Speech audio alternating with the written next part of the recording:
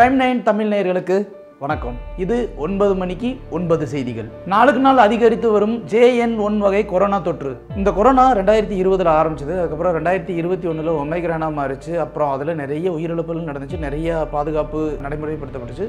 கொஞ்ச நாளாக இல்லாமல் மக்கள் நடைமுறை வாழ்க்கைக்கு பழக்கப்பட்டுக்கிட்டு இருக்கும்போது திரும்ப வந்துட்டு இப்போ புதிய வகை கொரோனா வந்து கேரளாவில் கண்டுபிடிக்க ஆரம்பித்தாங்க அதாவது ஒமிக்ரானோட திரிப்பான ஜேஎன் ஒன் வகையான ஒமிக்ரான். அது வந்து இந்தியாவுக்கு பெரிய அச்சுறுத்தல் இல்லை ஒரு நாளில் போயிடும் அப்படின்னு சொல்லி நிறைய மருத்துவ அதிகாரிகள் செக்ரட்டரிஸ்லாம் சொல்லிக்கிட்டு இருந்தாங்க. இப்போ என்னென்னா நாளுக்கு நாள் இது அதிகரிச்சுக்கிட்டே இருக்குது நாடு முழுவதும். இப்போது நேற்றைய நிலவரப்படி நானூற்றி பதினாறு பேருக்கு கொரோனா தொற்று மட்டும் இன்க்ரீஸ் ஆகிருக்கு நேற்றைய நிலவரப்படி. இதுலேயும் குறிப்பாக வந்து பார்த்தீங்கன்னா தமிழ்நாட்டில் வந்துட்டு திருச்சி திருவள்ளூர் மதுரை நாமக்கல் இந்த நாலு மாவட்டங்களையும் நாலு மனிதர்களிடையே வந்து ப- பூனை பகுப்பாய்வு மையத்தில் பரிசோதனை செஞ்சு பார்க்கறதுல அவங்களுக்கும் ஜேஎன் ஒன் வகை கொரோனா தொற்று இருக்குது அப்படின்னு சொல்லி அதிகாரப்பூர்வமாக அறிவிச்சிருக்காங்க. இது ஒரு பக்கம் இருக்க. தமிழ்நாட்டில் முன்னாடியே வந்து கொரோனா தொற்றுக்கு வந்துட்டு இந்த ஆர்டிபிசிஆர் டெஸ்ட்டுன்னு ஒன்று பண்ணுவாங்க. இந்த ஆர்டிபிசிஆர் டெஸ்ட்டு இதுக்கப்புறம் இதுக்கு தேவையா இல்லையா அப்படின்னு ஒரு பக்கம் வாதம் போய்கிட்டு இருக்கு. இன்னொரு பக்கம் வந்து இது ஒரு நாளில் நடக்கிற தொற்று தான் இது அதுக்கப்புறம் போயிடும் அப்படின்னு சொல்லிக்கிட்டு இருக்காங்க. இந்த ஆர்டிபிசிஆர் கிட்டு கிட்டத்தட்ட ஒன்றரை லட்சம் கவுண்ட்டு வந்து தமிழ்நாட்டில் இருக்கிறதா பொது சுகாதாரத்துறை செக்ரட்டரி செந்தில் விநாயகம் வந்து அறிவிச்சிருக்காரு. இது ஒரு கூடுதல் சிறப்பான ஒரு முன்னெடுப்பு நடவடிக்கை கூட. இது எப்படியோ ஜேஎன் ஒன் வகை கொரோனாவால் மறுபடியும் லாக்டவுன் அப்படிங்கிற அந்த ஒரு விஷயம் நடக்காமல் இருந்தால் மக்களுக்கு மிகப்பெரிய ஆறுதலாக இருக்கும் அப்படிங்கிறதா எல்லாருடைய எதிர்பார்ப்பாகவும் இருக்குது எண்ணூறு வாயு கசிவு தாமாக முன் வந்து பசுமை தீர்ப்பாயம் விசாரணைக்கு எடுத்தது. சமீபத்தில் தான் வந்து சிபிசிஎல்ல வந்து ஒரு பெரிய ட்ராஜடி நடந்துச்சு. இந்த பேரிடர் காலத்தில் அதில் வந்து ஆயில் ஸ்பில் ஆகி அந்த ஆயில் ஸ்பில்ல வந்துட்டு கடலில் கலந்து நிறைய பிரச்சனைகள் எண்ணூர் மக்கள் அந்த சுற்றி இருக்கிற சுற்றுவட்டார பகுதி மக்கள் வந்து ஒரு பிரச்சனையை ஃபேஸ் பண்ணிக்கிட்டு இருந்தாங்க. இது ஒரு பக்கம் இந்த பிரச்சனைகள் ஆறி அமர்றதுக்குள்ள நேற்றைய க- இரவு என்ன ஆயிடுச்சு அப்படின்னு பார்த்தீங்கன்னா ஒரு தனியாருக்கு சொந்தமான உர தொழிற்சாலையில் வந்து அமோனியா வாயு கசிவு கசிஞ்சிருக்கு இதில் வந்து நிறைய பேர் அந்த எண்ணூர் தொழிற்சாலையிலேருந்து நைட் ஷிஃப்ட் முடிச்சுட்டு வந்தவங்க இந்த இடத்துல வரும்போது சிலருக்கு வந்து அந்த நெடி வந்து ஏறி அவங்களுக்கு வந்து ஒரு மாதிரி அலர்ஜியாக இருந்திருக்கு சிலருக்கு வந்து வாமிட்டிங் சென்ஸ் வந்திருக்கு. என்ன ஏது அப்படின்னு அதுக்கடுத்து பார்க்கும்போது தான் வந்து அந்த இடத்துல வந்துட்டு இந்த அமோனியா வாயு கசிவு வந்து ஏற்பட்டிருக்கு. இந்த மாதிரி வந்து இந்த வழக்கை வந்து உடனடியாக நம்ம விசாரிச்சாகணும். ஏற்கனவே வந்து ஆயில் ஸ்பில்ல இந்த பிரச்சனை ஒன்று போட்டுச்சு இப்போ அடுத்து இந்த ஒரு பிரச்சனை வந்துட்டுருக்கு. ஸோ எண்ணூறு மக்களின் ஒரு துயரமாகவே போயிடக்கூடாது அப்படிங்கிறதுனால பசுமை தீர்ப்பாயம் தானாகவே முன் வந்து இந்த வழக்கை விசாரிக்கிறதுக்கு முடிவு பண்ணிருச்சு. இப்போ வந்து இந்த வழக்கு வந்து ஜனவரி ரெண்டாம் தேதி வந்து முழுமையாக விசாரிக்க போகிறதா சொல்லியிருக்காங்க. இந்த மாதிரி தொழிற்சாலைகளில் அதை சுற்றி இருக்கிற அந்த கிராமப்புற மக்கள் அவங்களுடைய வாழ்வாதாரமே இந்த தொழிற்சாலைகளை நம்பி தான் இருக்கும்போது இந்த மாதிரி வாயு கசிவு வந்து அவங்களுடைய வந்து அடிப்படையான வாழ்வாதாரத்தையே வந்து அது பெரிய சீரழிவுக்குள்ளாக்குமோ அப்படிங்கிற ஒரு கேள்விக்குரிய தான் எழுப்பியிருக்கு. தமிழகத்தில் மழை வெள்ளத்தால் சேதமடைந்த இருபத்தி ஆறு கோயில்களை புனரமைப்பதற்காக ஐந்து கோடி செலவு செய்யப்படுவதாக அமைச்சர் சேகர் பாபு தரப்பிலிருந்து தகவல். சமீபத்திய பெய்த அந்த அதிகன மழை கிட்டத்தட்ட எட்டு மாவட்டங்கள் பெரிய பாதிப்புக்குள்ளாச்சு. அதில் வந்து நிறைய கோவில்களும் சேதமடைந்தன. அந்த கோவில்கள் முக்கியமான கோவில்கள் எது எது அப்படின்னு சொல்லி கண்டறியப்பட்டு அறநிலைத்துறை அமைச்சர் சேகர் பாபு தலைமையில் ஒரு ஆய்வு கமிட்டி நடத்துகிறாங்க அந்த ஆய்வு கமிட்டியில் வந்து என்ன சொல்கிறாங்கன்னா முக்கியமான கோயில்களான இருபத்தி ஆறு கோயில்கள் வந்து ரொம்பவே சேதமடைஞ்சிருக்கு. அதாவது முகப்பு தோற்றம் பின்னாடி கோபுரம் இந்த வாசல் இந்த மாதிரி பெரிய பிரச்சனைகள்லாம் இருக்குது இதுக்கு எல்லாத்துக்குமே ஆன வரைக்கும் பட்ஜெட் மட்டும் அஞ்சு கோடி ரூபாய் வரையிலும் தேவைப்படுது அப்படிங்கிற மாதிரியான ஆய்வு கமிட்டியில் வந்து ஒரு சர்வே சொல்லி அதுக்கப்புறம் இந்த ஐந்து கோடியில் வந்து புனித ஸ்தலம் வந்து எல்லாருக்குமே வந்து பொதுவான ஒரு இடமும் கூட. அதே சமயம் வெள்ளத்தால் பாதிக்கப்பட்ட மக்கள் வந்து ஆதி காலங்களில் வந்து தங்குறதுக்கு தஞ்சமடைகிற இடமே வந்து இந்த கோவில்கள் தான் அப்படின்னு நம்ம வரலாறு சொல்லுது. அப்படிப்பட்ட கோயில்களை காப்பாற்றுவதற்காக இந்த புனரமைப்பதற்காக அரசு வந்து இந்த முன்னெடுப்பு எடுக்கிறது வந்து பலராலையும் பாராட்டப்படக்கூடியதாக இருக்குது வேங்கை வயல் சம்பவம் நம்ம எல்லாருக்கும் ஞாபகம் இருக்கும்னு நினைக்கிறோம். புதுக்கோட்டை மாவட்டம் அஹ், கிராமத்தில் பட்டியல் இனத்தவர்களுக்காக ஒதுக்கப்பட்ட அந்த வாட்டர் டேங்க்கில் வந்து யாரோ சில விஷக்கிருமிகள் வந்து அதில் வந்து மனித கழிவையும் உள்ளே இழுத்து அந்த குடிநீரை வந்து வீணாக்கிட்டாங்க. இந்த சம்பவம் வந்து ஒரு மிக மிகப்பெரிய பரபரப்பை உண்டு பண்ணுச்சு. அப்போவே வெள்ளையனூர் காவல் நிலையத்தில் வன்கொடுமை சட்டம் உட்பட கிட்டத்தட்ட ஐந்து பிரிவுகளில் வந்து வழக்கு பதிவு செஞ்சாங்க. அந்த வழக்கையும் விசாரிச்சுக்கிட்டு இருக்காங்க. அந்த வழக்கு அதுக்கப்புறம் வந்து இப்போது இப்போது வந்து சிபிசிஐடி போலீஸார் வந்து விசாரிச்சுக்கிட்டு தான் இருக்காங்க. இந்த சம்பவம் நடந்து கிட்டத்தட்ட நேற்றோட ஒரு ஆண்டுகள் ஆகியும் இன்னமும் வந்து அதுக்கு உண்டான முன்னெடுப்புகள் அதுக்கு உண்டான எந்த ஒரு விசாரணையும் மேற்கொள்ளப்படலை. அதில் எந்த ஒரு இம்ப்ரூவ்மெண்ட்டும் இல்லை அப்படின்னு சொல்லிட்டு பல்வேறுபட்ட கட்சி தலைவர்கள் வந்து ஒரு மிகப்பெரிய கண்டனத்தை தெரிவிச்சிருக்காங்க.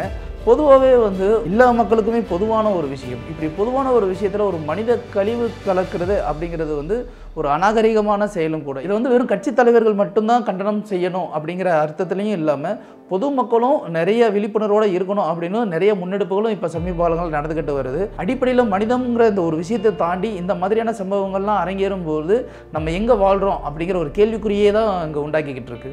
தமிழக அரசுக்கு கண்டனம் உட்பட கிட்டத்தட்ட இருபத்தி நான்கு தீர்மானங்கள் அதிமுக பொதுக்குழுவில் நிறைவேற்றப்பட்டுள்ளது. எடப்பாடி பழனிசாமி அவர்கள் பொதுச் செயலாளராக முதல் தடவையாக பதவி வகித்து நடத்தப்பட்ட அதிமுக பொதுக்குழு கூட்டம் தான் நேற்று நடந்தது. அந்த அதிமுக பொதுக்குழு கூட்டத்தில் வந்து கிட்டத்தட்ட நிறைய தீர்மானங்கள் நிறைவேற்றப்பட்டன. அதில் குறிப்பாக வந்து திமுக அரசு இயந்திரம் பெருசாக எந்த ஒரு விஷயத்திலும் செயல்படவே இல்லை. அரசு இயந்திரம் இயங்கவே இல்லை.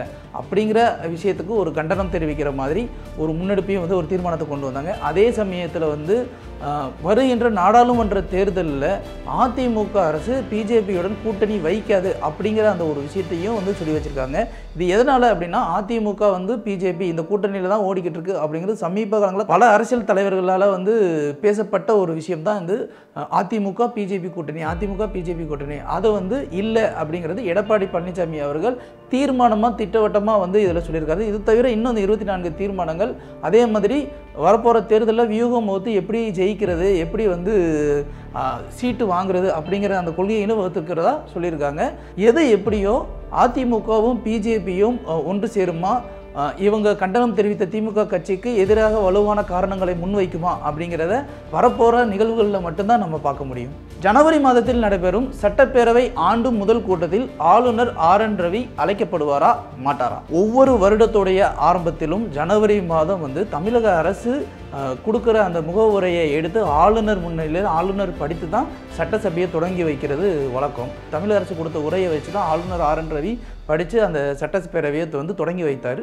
ஆனால் என்ன பிரச்சனை ஆச்சு அப்படின்னா ஆர்என் ரவி அரசு கொடுத்த அந்த முகவுரையை வந்து திருத்தம் செஞ்சு அவதில் எக்ஸ்ட்ராவும் சேர்த்து அந்த உரையை படித்ததை முதலமைச்சர் மு க ஸ்டாலின் கண்டனம் தெரிவித்தார் உடனே வந்து சபாநாயகரான அப்பாவு அவர்கள் வந்து ஆளுநர் திருத்தம் செஞ்சது அவை குறிப்பில் இடம்பெறாது அப்படின்னு சொல்லி சொல்லிட்டாரு. அப்போ இருந்தே நிறைய பிரச்சனைகள் வந்துச்சு. அதுக்கப்புறம் வந்து தேசிய கீதம் வாசிக்கிறதுக்கு முன்னாடியே ஆர்என் ரவி வந்துட்டு அந்த இடத்த விட்டு எந்திரிச்சு வெளிக்க வெளியேறி போயிட்டாரு. இது அடுத்த ஒரு பிரச்சனை. ஏற்கனவே மு க ஸ்டாலின் அவர்கள் ஆளுநர் ஆர் என் ரவிக்கு எதிராக நிறைய குற்றச்சாட்டுகள் முன் வைத்துக்கிட்டு இருக்காரு. ஸோ இவ்வளவு பிரச்சனைகள் இது ஒரு பக்கம் போய்கிட்டு இருக்கு. இன்னொரு பக்கம் வந்து இந்த ஆண்டு வந்து முடிவுரை வந்து இன்னும் முடிக்காமலே இருக்காங்க. காரணம் என்னென்னா மிக்ஜாம் புயல் பேரிடர் அப்புறம் வந்து அதுக்கு தென் மாவட்டங்கள் நடந்த மிகப்பெரிய புயல் வெள்ள நிவாரண பணிகள் ஒரு பக்கம் ஓடிக்கிட்டு இருக்கு. சீரமைப்பு பணிகள் ஒரு பக்கம் போயிட்டு இருக்கு. பொங்கலுக்கு பரிசா வந்து இப்போ நிறைய கொடுக்கறதுக்காக அதுக்கு உண்டான ஆயத்த பணிகளும் ஓடிக்கிட்டு இருக்கு. ஸோ அரசு இயந்திரம் வந்து முழு வீச்சில் வந்து இந்த மாதிரி தொடர் க வேலைகளில் ஈடுபடுறதுனால இது ஒரு பக்கம் இருக்க. ரெண்டாயிரத்தி இருபத்தி நான்காம் ஆண்டு ஜனவரி ஆண்டு சட்டசபை வந்து கிட்டத்தட்ட அந்த மாதத்தின் மூன்றாவது வாரமோ அல்லது நான்காவது வாரத்திலையோ நடத்தலாம் அப்படின்னும் ஒரு பரிசீலனையில் பேசிக்கிட்டு இருக்காங்க. எது எப்படியோ ஆளுநர் ரவியை வந்து அழைப்பாங்களா மாட்டாங்களா அப்படிங்கிறது வந்து அரசு அறிக்கையின் போது மட்டுமே தெரிய வரும். பாஜக மூன்றாவது முறையாக ஆட்சி அமைக்கும் என்று ஏபிபி சி ஓட்டர் அமைப்பு நடத்திய கருத்து கணிப்பில் தகவல். ஏபிபி செய்தி நிறுவனமும் சி ஓட்டர் என்கிற அமைப்பும் வந்து சேர்ந்து கடந்த டிசம்பர் பதினைந்தாம் தேதியிலிருந்து டிசம்பர் இருபத்தொன்னாம் தேதி வரைக்கும் வாக்குரிமை உள்ள வாக்காளர்கள் இந்தியா முழுவதும் வந்து ஐநூற்றி நாற்பத்தி மூணு தொகுதிக்காக வந்து கருத்து கணிப்பில் ஈடு ஈடுபட்டிருக்காங்க. யாருக்கெல்லாம் ஓட்டு போட போகிறாங்க அப்படின்னு சொல்லிட்டு அந்த கருத்து கணிப்புடைய ரிசல்ட் என்ன சொல்லுது அப்படின்னா கிட்டத்தட்ட நான்கு மண்டலங்களாக பிரிச்சிருக்காங்க. வட மாநிலங்கள் தென் மாநிலங்கள் கிழக்கு பிராந்தியங்கள் மேற்கு பிராந்தியங்கள் அப்படின்னு சொல்லி நான்கு மாநிலங்களில் பிரிக்கும் போது வந்து பிஜேபி வந்து கிட்டத்தட்ட இரநூத்தி தொண்ணூத்தைந்துலேருந்து முந்நூற்றி முப்பத்தைந்து சதவீதம் வந்து தொகுதிகளில் வந்து ஜெ- வெற்றி பெறுவாங்க அப்படின்னும் இந்தியா கூட்டணி வந்து நூற்றி அறுபத்தஞ்சிலிருந்து இரநூத்தி அஞ்சு தொகுதி வரைக்கும் வந்து வெற்றி பெறுவாங்க அப்படிங்கிற அந்த கருத்து கணிப்பில் சொல்லியிருக்காங்க. ஆனாலும் அதிகபட்சம் வந்து இந்தியா கூட்டணிக்கு வந்து தென் மாநிலங்களில் தான் வந்து வலு அதிகமாக இருக்கும். பாஜகவுக்கு தென் மாநிலங்களில் வலு கொஞ்சம் கம்மியாக தான் இருக்கும்.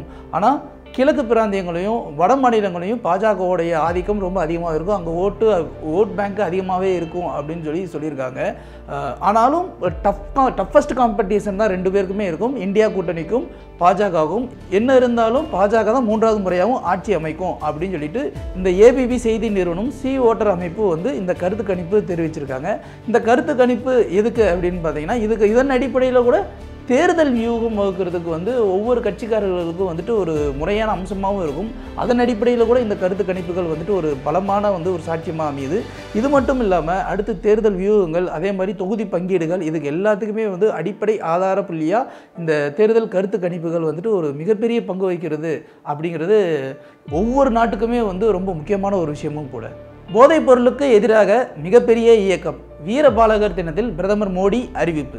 போதைப் பொருள் அப்படிங்கிற அந்த ஒரு விஷயம் வந்து சமீப காலங்களாக வந்து இளைஞர்கள்கிட்ட வந்து ரொம்ப ஈஸியாகவே கிடைக்கிற ஒரு விஷயமா இருந்துச்சு. முன்னாடியெல்லாம் வந்து கிடைக்கிறதுக்கே அரிதான பொருள் எங்கேயாவது எங்கேயாவது பணக்காரவங்க கிட்ட மட்டும்தான் கிடைக்கும் அப்படின்வாங்க இன்னும் சிலர் என்ன சொல்லுவாங்கன்னா சினிமாவில் மட்டுமே தான் அந்த ட்ரக்ஸ் எல்லாமே கிடைக்கும் அப்படிங்கிற ஒரு விஷயங்களாக சொல்லுவாங்க. இன்றைக்கி இன்றைய காலகட்டங்களில் பள்ளிக்கூட குழந்தைகளுமே வந்துட்டு இந்த போதை வசதிகளும் ரொம்ப ஈஸியாகவே அடிக்ட் ஆகிட்டாங்க இது ஒரு பக்கம் இருக்கும்போது நேற்று வீரபாலகர் தினத்தில் பாரத் மண்டபத்தில் வந்து பிரதமர் மோடி வந்து ஒரு உரையாற்றுறாரு. அதில் வந்து இந்த காலத்து இளைஞர்கள் நிறைய பேர் வந்து இந்த போதைப் பொருட்களுக்கு ரொம்பவே அடிமையாகிறாங்க. இந்த இது வந்து ஒரு பெரிய அச்சுறுத்தலாகவே இருக்குது இது இந்தியா சுதந்திரம் அடைந்த காலத்தில் இளைஞர்கள் எண்ணிக்கை வந்து ரொம்பவே குறைவு. ஆனாலும் அவங்க வந்து விடுதலை வேட்கையோட இந்தியாவுக்கு நல்லது செய்யணும் நிறைய இயக்கங்களை முன்னெடுத்து நிறைய விஷயங்கள் நல்ல நல்ல விஷயங்களை செஞ்சாங்க. ஆனால் இன்றைய காலகட்டங்களில் இளைஞர்கள் அதிகம். ஆனால் அந்த இளைஞர்கள் எல்லாருமே இந்த மாதிரி முன்னெடுப்புக்கு உள்ளே வரணும். இந்த போதைப் பொருள் உள்ளுக்கு என்றாகிறத வந்து எவ்வளோக்கு எவ்வளோ தடுக்கணுமோ அதுக்கு நிறைய இயக்கங்கள் உருவா உருவாக்கணும். மத கூர்மார்கள் எல்லாருமே வந்து இதுக்காக சேர்ந்து சில வழிமுறைகளை முன்மொழியணும் அப்படின்னு சொல்லிட்டு எல்லாருக்கும் ஒரு அழைப்பு விடுத்திருந்திருக்காரு ஏன்னா சமீபத்திய காலங்களில் ஸ்டாட்டிஸ்டிக்ஸ் படிவது இந்த வருடம் மட்டுமே ஏகப்பட்ட போதைப் பொருட்கள் வித்தியாச வித்தியாசமாக வந்திருக்கு. அதில் அதுலேயும் வந்து பார்த்தீங்கன்னா நம்ம நியூஸ்லேயே வந்து ரெண்டு மூணு நியூஸ் சொல்லியிருக்கோம். இரநூத்தி ஐம்பது கோடி ரூபாய்க்கு வந்துட்டு மெத்தம்போட்டமைன் கஞ்சா கடத்தல் அப்புறம் வந்து சின்ன சின்ன கஞ்சா பொட்டலம் கடத்தல்ன்றது முதற்கொண்டு நிறைய விஷயங்கள் இருக்குது இது எல்லாமே வந்து இக்கால இளைஞர்களை வந்து ரொம்ப பாதிப்புக்கு உள்ளாக்குது. அது மட்டும் இல்லாமல் சமுதாயத்துக்கு ஒரு மிகப்பெரிய அச்சுறுத்தலாகவும் ஒரு சீர்கேடையும் உருவாக்குற விஷயமாகவும் இருக்குது அப்படிங்கிறது மோடி மிகப்பெரிய வருத்தத்தையே தெரிவிச்சிருக்காரு. அதுக்கான உருவாக்கப்பட்ட இயக்கமாக எல்லாரையும் அழைப்பும் விடுத்திருக்காரு. ஜனவரி ஒன்று முதல் சிம் கார்டு வாங்க புதிய விதிமுறை. நாளுக்கு நாள் இந்தியாவில் வந்து ஸ்மார்ட் ஃபோன் அதிகமாகிக்கிட்டே இருக்குங்க. ஸ்மார்ட் ஃபோன் அதிகமாக இருக்குது அதே மாதிரி வந்து இந்த ஸ்மார்ட் ஃபோனில் வந்து நிறைய வந்து இந்த கால்ஸ் வந்துட்டு ட்ரேஸ் பண்ணி நிறைய குற்றச்சம்பவங்கள் அரங்கேறிக்கிட்டே இருக்குது இதுக்கெல்லாம் அடி ஆதாரமாக இருக்கிறது என்ன அப்படின்னு பார்த்தீங்கன்னா மல்டிபிள் சிம் நிறைய சிம் வச்சுருக்கிறது தான் அப்படின்னு சொல்லிட்டு ஒரு பேஸ் ரீசன் ஒன்று அரசாங்கம் வந்து கண்டுபிடிச்சிருக்காங்க. ஸோ இனிமேல் வந்துட்டு இந்த சிம்மு வாங்குறதுக்கு வந்துட்டு வேறு மாற்று வழியை கண்டுபிடிக்கணும் அப்படின்னு சொல்லிட்டு ஒரு உறுதியான நிலைப்பாட்டில் ஜனவரி ஒன்றாந்தேதியிலிருந்து வந்து தொலைத்தொடர்பு சட்டம் வந்து ஒரு புதிய விதிகளை வந்து அமலாக்கம் பண்ண போகிறாங்க இது சம்மந்தமாக ஜனவரி ஒன்று ரெண்டாயிரத்தி இருபத்தி நாலில் இருந்து தொலைத்தொடர்புத்துறை வந்து புதிய சட்டங்களை வந்து அமலாக்கம் செய்ய போகிறாங்க அது என்ன அப்படின்னு பார்த்தீங்கன்னா இனிமேல் வந்து ஒருத்தருக்கும் ஒரு சிம்மு தான். அதே மாதிரி அந்த ஒரு சிம்முமே வந்து அவங்க பயோமெட்ரிக் சென்சாரில் கட்டாயமாக இருக்கணும். அதே மாதிரி கேஒய்சி வந்து அவங்க வந்து அப்ளை பண்ணியாக இருக்கணும். அவங்களுடைய ஹோல் டீட்டெயில்ஸ் எல்லாமே ஆதாரில் லிங்க்கில் இருந்திருக்கணும். இதை தாண்டி இப்போ வந்து கம்பெனி கேட்குதுன்னா கம்பெனிக்கு மட்டும்தான் குரூப் சிம் கொடுக்கப்படும். ஃபேமிலிக்கு சிம்மு அந்த மாதிரி எதுவுமே கிடையாது. இதுலேயுமே வந்து யாராவது வந்து அந்த சிம்மை வந்து மிஸ்யூஸ் பண்ணி அதை மிஸ்பிஹேவ் பண்ணி வேறு மாதிரி யூஸ் பண்ணாங்கன்னா அவங்களுக்கு கிட்டத்தட்ட ஐம்பது லட்ச ரூபா வரைக்கும் வந்து அபராதமும் கொடுப்பாங்க. மூன்று ஆண்டு வரைக்கும் சிறை தண்டனையும் கொடுக்குறதா இந்த புதிய சட்ட விதிகள் வரையறுக்கப்பட்டிருக்கு. இதுலேருந்து என்ன தெரியுது அப்படின்னா நாட்டில் நடக்கிற இந்த செல்ஃபோன் கொள்ளைகள் எதனாலமாக தடுக்கப்படும் அப்படிங்கிறது நம்ம ஆணித்தரமாக நம்ம